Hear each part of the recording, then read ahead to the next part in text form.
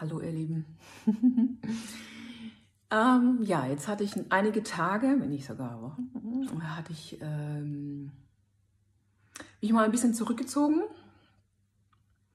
und ähm, ich habe gemerkt, ich hätte jetzt auch wieder Gründe gehabt, kein Video zu machen, weil ich nicht gestylt bin, weil ähm, ja das Licht nicht passt, la la la, weil der Hintergrund meine Kinder ähm, ja, aber ich schiebe dieses Video schon die ganze Zeit vor mir her und habe jetzt das dringende Bedürfnis, mal Tacheles zu sprechen.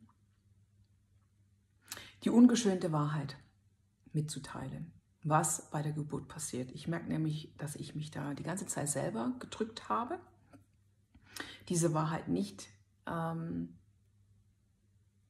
nach außen zu tragen, ähm, um irgendwelche Menschen zu schützen, weil die Wahrheit schon relativ krass ist, wenn man das mal verstanden hat, was da eigentlich alles passiert bei der Geburt. Ähm, und da geht es nämlich nicht nur darum, was physisch passiert. Da geht es darum, was auf Seelenebene, auf geistiger, energetischer, feinstofflicher Ebene passiert. Und ich habe jetzt nicht mal ein Skript. Ich kann mich jetzt nicht mal orientieren an irgendwelchen Punkten, die ich so mir vorher schon überlegt habe, was es alles braucht, um ähm, ja, die Informationen allumfänglich zu übermitteln. Und schauen wir jetzt einfach mal.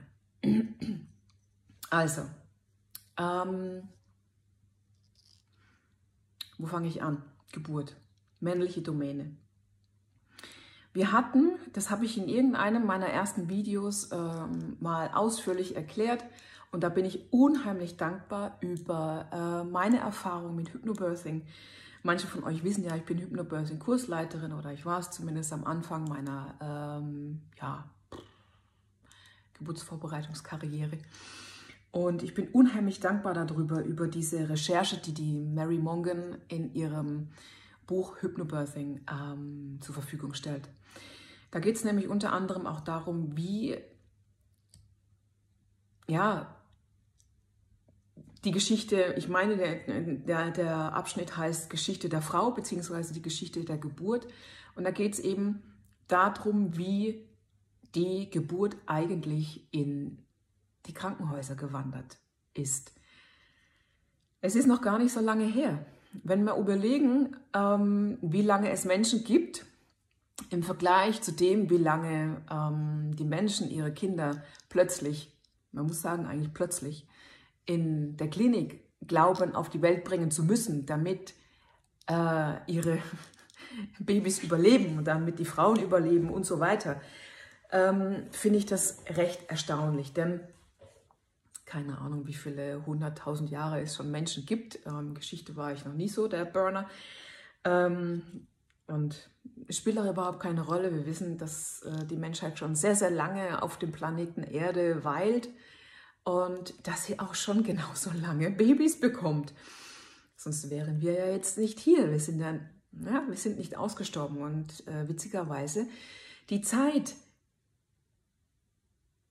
wo es angefangen hat, dass die Geburten in die Klinik abgewandert sind, dass uns eingeredet wurde, wir können nur noch in der Klinik unsere Kinder sicher auf die Welt bringen, das ist noch keine 100 Jahre her oder vielleicht gerade mal 100 Jahre.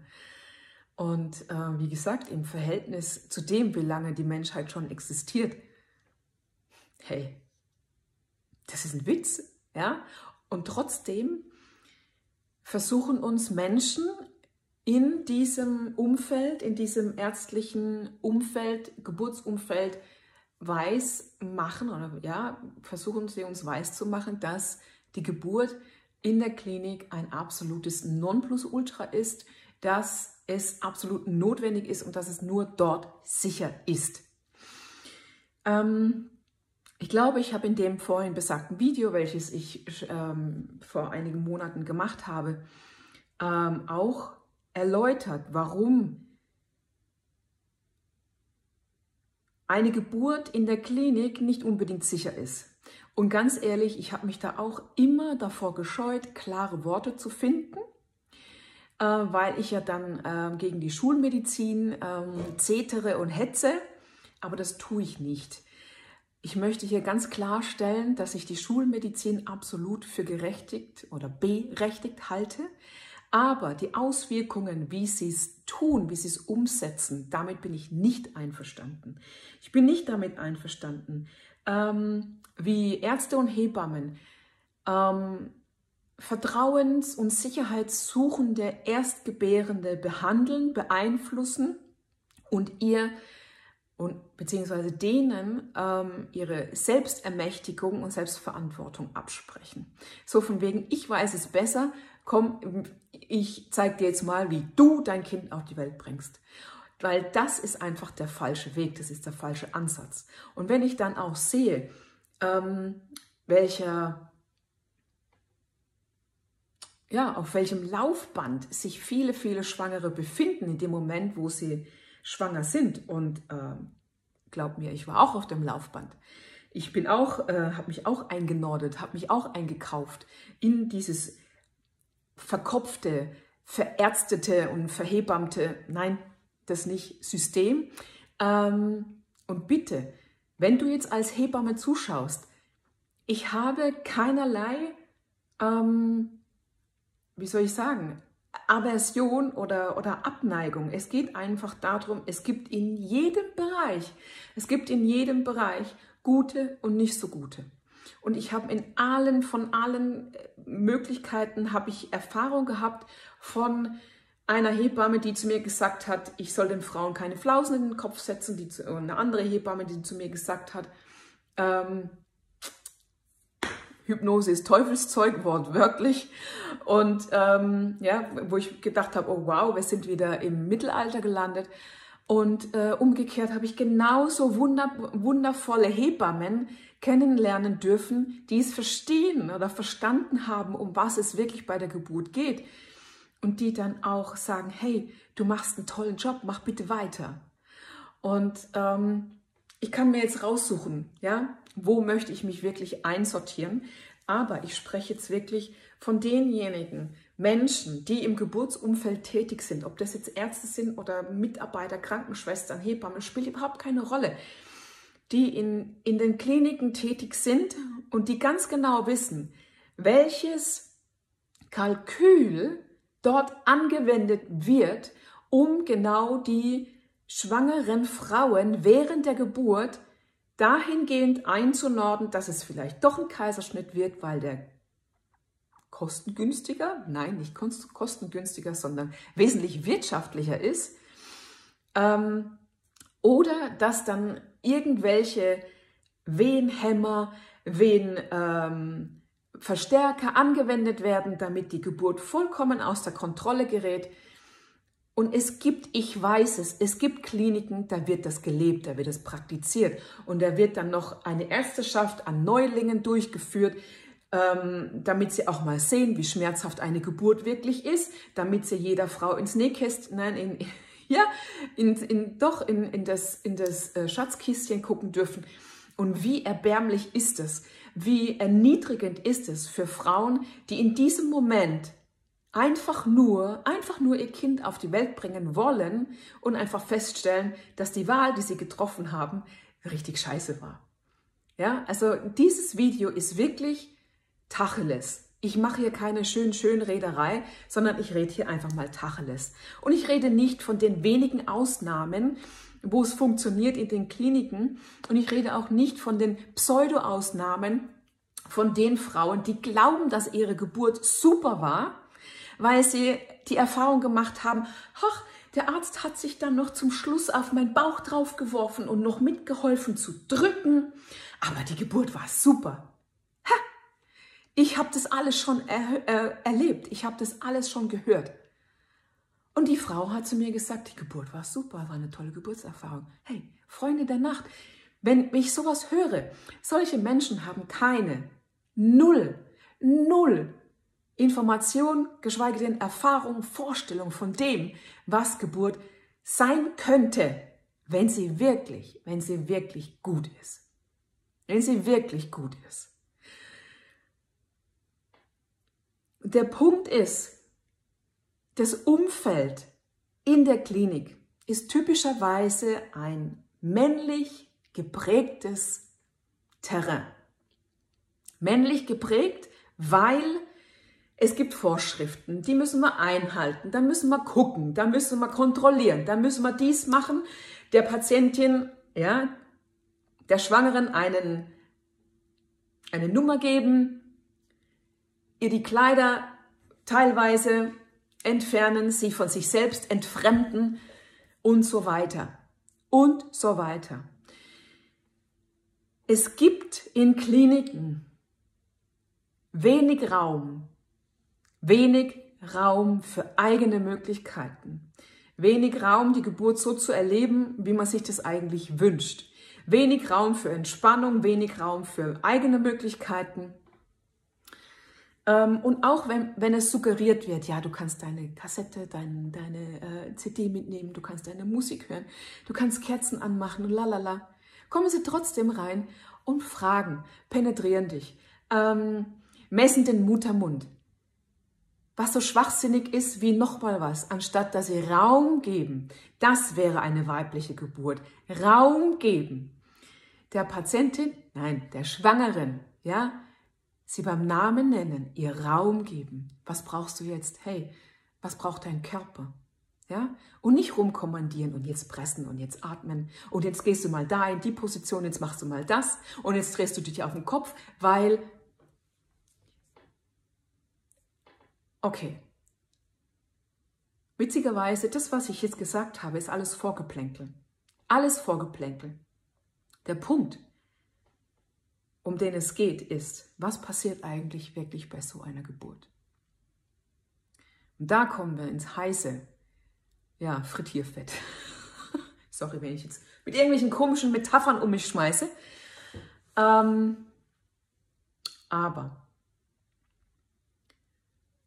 in dem Moment, wo die Geburt beginnt und Leute, ich habe gerade vor kurzem, ich habe gerade vor kurzem, war mal, wann war es?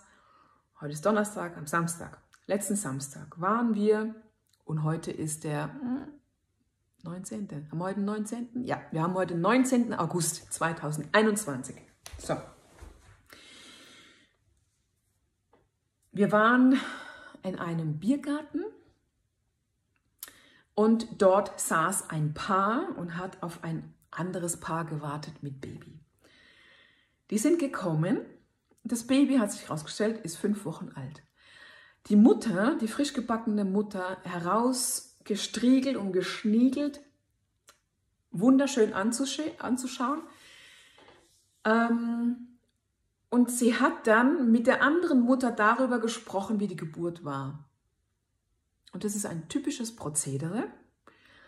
Ähm, es war eine Erstgebärende, die gemeint hat, ja, sie hat einen Vorbereitungskurs gemacht, traditioneller Vorbereitungskurs. Und sie hat einfach gedacht, ja, das läuft jetzt so. Und hat dann festgestellt, bei der Geburt konnte sie null anwenden. Nichts, nada. Und hat dann deutlich zu verstehen gegeben, dass sie das Ganze völlig unterschätzt hat.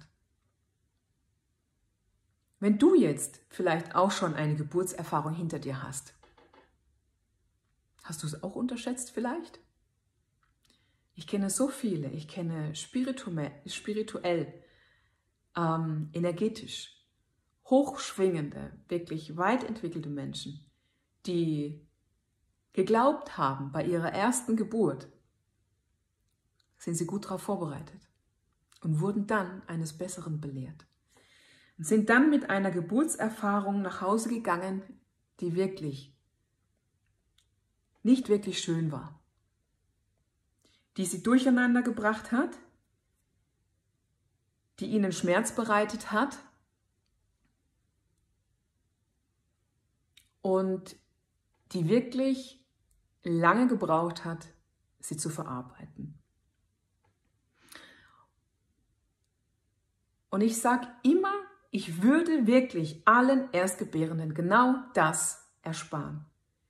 Aber wenn sie nicht auf die Idee kommen, Hilfe anzunehmen. Hilfe anzunehmen von jemandem, der schöne Geburten bereits erlebt hat, selbst erlebt hat, anderen Menschen schon diese Erfahrung gezeigt hat, ermöglicht hat. Was soll ich machen? Das Kind langt erst dann nicht mehr auf die Herdplatte, wenn es einmal festgestellt hat, die ist heiß. Ist schade ähm, und das, das tut mir auch irgendwo weh. Und ich merke, dass ich mir da auch einen Schutzpanzer irgendwo angeschafft habe, damit ich dieses Leid letztendlich nicht mehr so an mich ranlasse. Aber ich finde es trotzdem schade.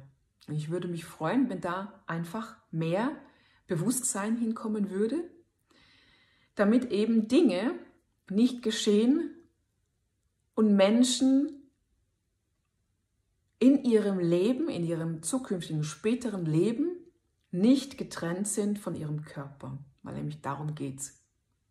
Wenn die Geburt entsprechend mit Stress behaftet ist, sprich Schmerz, Angst, weil natürlich auch aus dem Schmerz automatisch irgendwo eine Angst hervorgerufen wird, in der Form, wie lange dauert es denn noch, überlebe ich das, also in Anführungszeichen überlebe ich das, aber das sind Existenzängste, es sind wirklich Überlebensängste, ganz tief drinnen, im Unbewussten.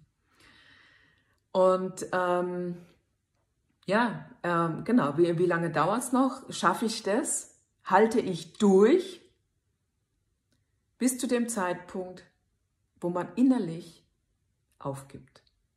Wo man innerlich aufgibt. Und ähm, dieser Zeitpunkt, ihr wisst alle, das kriegen mittlerweile, glaube ich, hat es mittlerweile schon jede Schwangere mitbekommen oder jeder Mensch, ähm, der in dem Umfeld schon mal Erfahrung gesammelt hat. Alle Emotionen gehen auf das Baby über, über die Plazenta. Der Mensch ist so konstruiert, dass Emotionen, Gefühle hervorgerufen werden durch einen bestimmten Hormoncocktail. Sprich, die Hormone ordnen sich so zusammen, damit sie dir ein bestimmtes Gefühl vermitteln. Und dadurch, dass das Hormone sind, die in deinem Körper kreisen, kreisen diese Hormone auch automatisch im Körper des Babys, weil während der Schwangerschaft seid ihr nach wie vor, was heißt nach wie vor, seid ihr durchgängig ähm, über die Plazenta miteinander verbunden. Und dieses Wissen, das haben viele Schwangere, aber sie wissen gar nicht, was das letztendlich für eine Auswirkung hat. Und wenn eine Geburt in Schmerz und Angst erlebt wird, auch wenn das die Geburt ist, aber genau das ist das Nadelöhr, wo das Kind, das Baby nochmal durch muss, um reif zu sein für die Welt,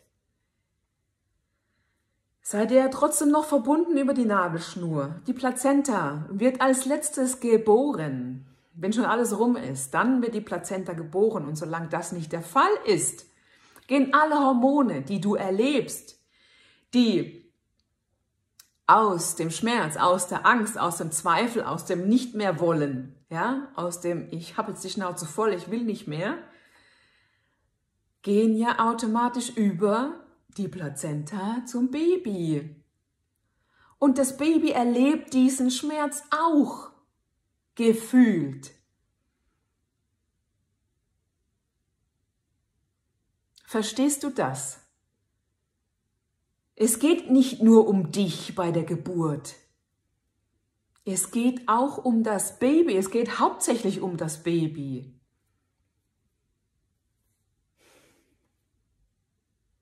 In dem Moment oder wie oft, ja, oder in dem Moment, ich kann mich noch gut daran erinnern, an meine erste Geburt, Klinikgeburt.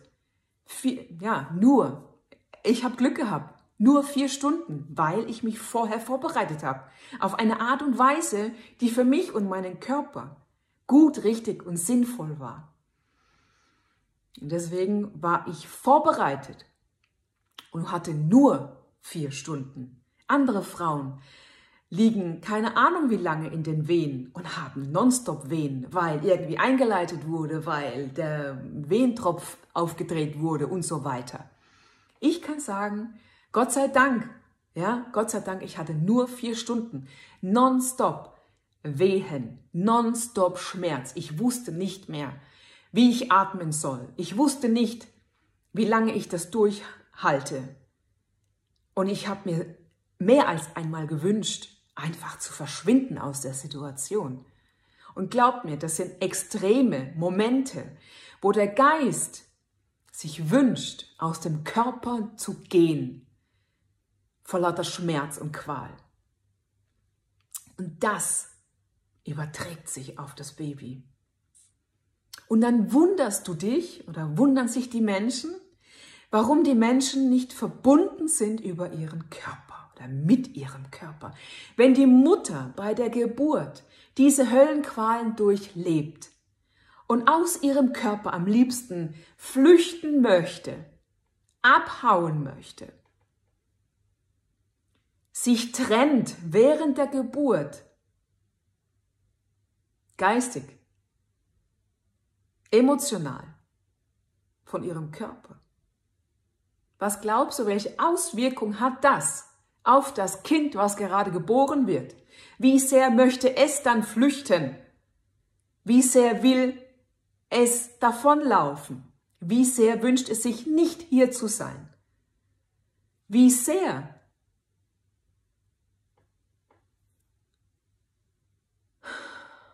erlebt es in dem Moment die absolute Trennung von Geist vom Körper. Und ich sage, in diesem Moment wird der Körper vom Geist des Babys getrennt. Und jeder, der irgendwann rumläuft und sagt, oh, ich bin so verkopft, ja, ich weiß, ich muss mehr in meinen Körper, mehr auf meinen Körper hören, mein Bauchgefühl, hinterfrage die Geburt. Hinterfrage die Geburt. Denn das sind genau diese Menschen, die nichts mehr mit sich anfangen können, die nichts mit ihrem Körper anfangen können, die keine Intuition haben, die kein Bauchgefühl haben, die sich nicht auf ihr Urvertrauen verlassen können. Genau das passiert bei der Geburt.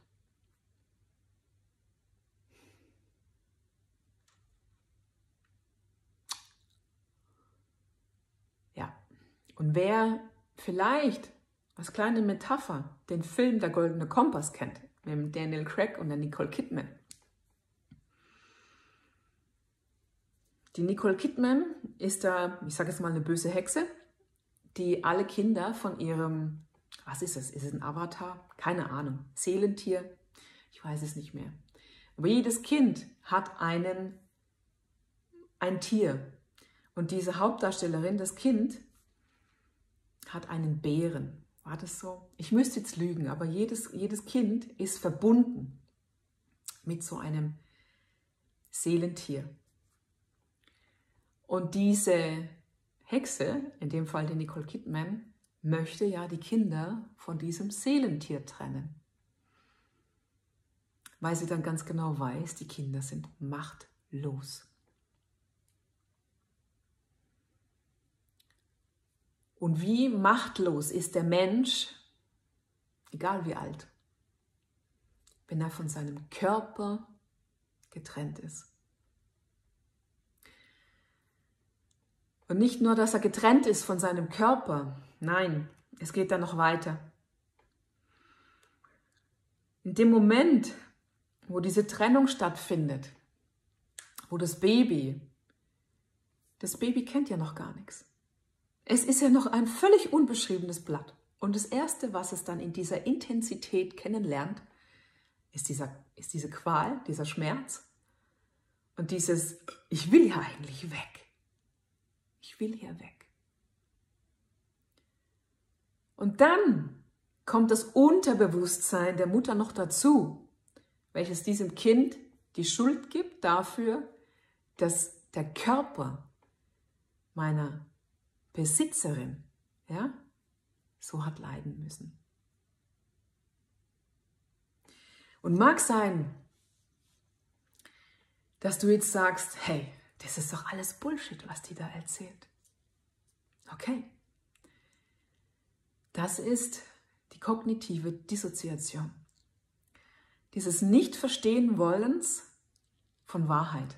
Dieses Getrenntsein von Wahrheit, Getrenntsein von Körper, weil wenn du verbunden wärst mit deinem Körper, würdest du die Wahrheit in meinen Sätzen, in meiner Sprache wissen, spüren, erfahren.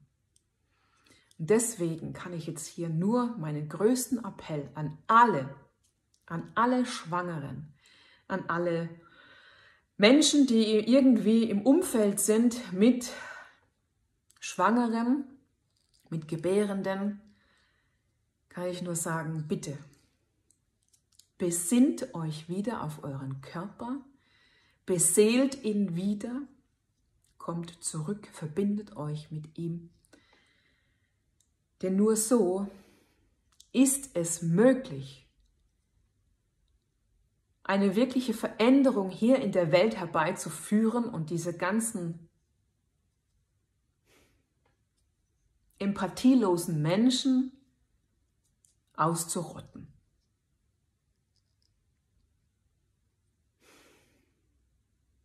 Weil ich, ganz ehrlich, ich habe echt sowas von die Schnauze voll, von diesen ganzen seelenlosen Wesen, die da draußen rumrennen, die getrennt sind, die mit ihrem Körper nichts anzufangen wissen, die keinen Spaß haben mit ihrem Körper, die keine Freude haben mit ihrem Körper, die ihre orgasmische Energie noch nie gespürt haben, geschweige denn gar nicht wissen, dass sie orgasmische Energie sind, dass sie unendlich energie, energievolle Wesen sind. Und diese Menschen, diese Wesen, die ich jetzt gerade benannt habe, einen Riesenteil dazu beitragen, dass die Menschen so abgekapselt voneinander sind, so empathielos, so lieblos gegenüber anderen, so egoistisch, so monetär ausgerichtet, dass eigentlich das wahre Leben, das wahre beseelte Leben überhaupt keinen Platz mehr hat hier auf der Welt.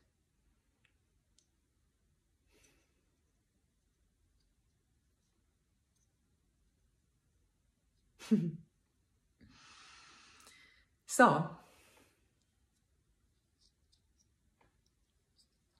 Tacheles. Wahrheit. Wahrheit ist manchmal nicht schön, aber notwendig. Wie gesagt, ich habe mich lange gedrückt, diese Wahrheit auszusprechen. Und ja, ich hoffe, du kannst was damit anfangen. Ich hoffe, es, es fällt auf den ein oder anderen nährvollen Boden, sodass einfach wieder alle Schwangeren aufwachen und hinterfragen, ob das, was sie in den Kliniken erleben, erfahren sollen, richtig ist, ob das weiblich ist, ob das das Weibliche unterstützt, ob das Raum gibt, zulässt für eine absolut weibliche Geburt in Entspannung, in Sanftheit, liebevoll, in höchster Energie, in höchster Ekstase, dieses Empfangen zulässt, diese wundervolle Seele, dieses Licht zu empfangen zulässt und wirklich empfangen zulässt, nicht kriegen. Ich kriege jetzt mein Kind. Hm. Nein, ich rede hier von empfangen. Wahrlich empfangen. Mit meinem ganzen Körper, mit meinem ganzen Sein, mit meiner ganzen Herzenswärme, mit meiner Liebe, dieses neue Licht empfangen. Da schließt sich der Kreis. Alle Kinder, die in einer solchen Umgebung auf die Welt kommen, die sind bewusst, die gucken dich an und dir schaudert's, weil du spürst, dass die da sind mit ihrer vollständigen, ja, mit ihrem vollständigen Bewusstsein, mit allen Anteilen. Da hängt nirgendwo ein Anteil noch irgendwo fest. Oder, ja, sind abgespalten. Nein, diese Kinder schauen dich an mit ihrer vollen Präsenz. Du weißt einfach, die sind da. Und diese Kinder verändern die Welt. Diese Kinder verändern die Welt. Die machen die Welt zu einem besseren Ort. Wenn du möchtest, dass dein Kind genauso ist, genauso sein volles Potenzial lebt, mit dieser hundertprozentigen Präsenz anwesend ist hier in dieser Welt und dadurch die Veränderung ist, die die Welt braucht,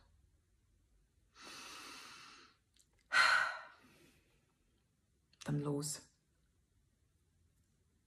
Los, jetzt. So. Also, ich wünsche euch alles Liebe, eine, ja, ein gutes Verstehen, Verarbeiten meiner Nachricht und bis zum nächsten Mal. Ciao. Ciao.